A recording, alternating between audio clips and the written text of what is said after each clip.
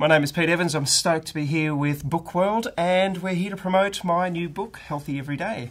It's a paleo inspired book, so that means no grains, no dairy, no refined sugar. What's left? Beautiful recipes containing meat, seafood, poultry, fruit, vegetables, nuts, seeds. Yummy. The reason I wrote this book was really to embrace the paleo lifestyle, and I think I'm one of the first professional chefs to actually uh, tackle uh, the paleo diet as, as such, and I wanted to make it as compelling a cookbook as any that are out there. So when people pick it up, they don't think that it's maybe a paleo book or a healthy book. They're just looking at it, think it's a really beautifully produced book. But underneath all of that, it's got no ingredients that are going to cause your body pretty much any inflammation or any ill harm. It's uh, it's beautiful quality food, and uh, it's shot beautifully too. Probably eat dairy, sugar, and grains. I'm happiest when I'm teaching people.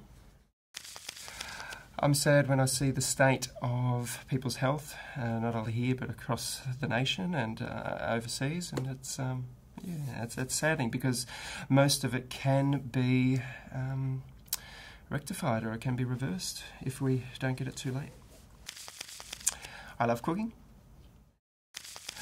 I'm jealous of. Well, I don't really get jealous to be to be honest. Um, yeah, it doesn't interest me. I can't say no to my kids, you know, and my partner Nicola. Uh, they're in charge. Uh, the one bit of advice that I should have listened to but didn't was probably when I became a vegan 20 odd years ago and uh, people said don't do it and I did it for four years and it was really detrimental to my health over a long period of time. To start with, it worked but uh, it wasn't sustainable. If only I um, had have embraced um, health and all it has to do a lot earlier, I think um, I would have saved myself a lot of pain. My favourite place is in the ocean. I think um, my good mate Trevor Hendy calls it a spiritual bath, and uh, I'd have to agree with him. I just love being out in the ocean with my family. Uh, what am I scared of? I'm scared of not living my life's purpose. Um, that's pretty much it, I, and I believe I'm doing it at the moment, so I want to stay on this path.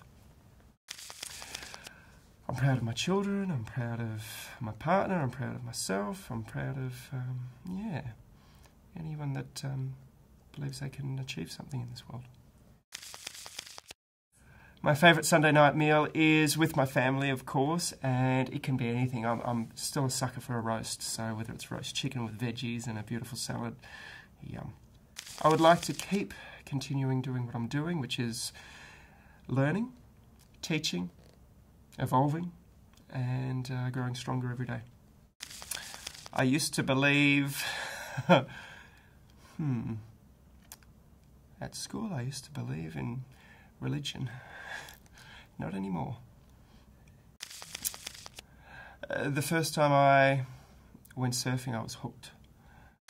The hardest lesson I've ever learnt was uh, to believe in yourself, is to value yourself. I think that's where it has to start with everybody. You have to look at yourself and think, are you happy being the person you are? Or is there a better version of yourself that you'd like to be? And once you believe in that person, then uh, you make the changes to be that.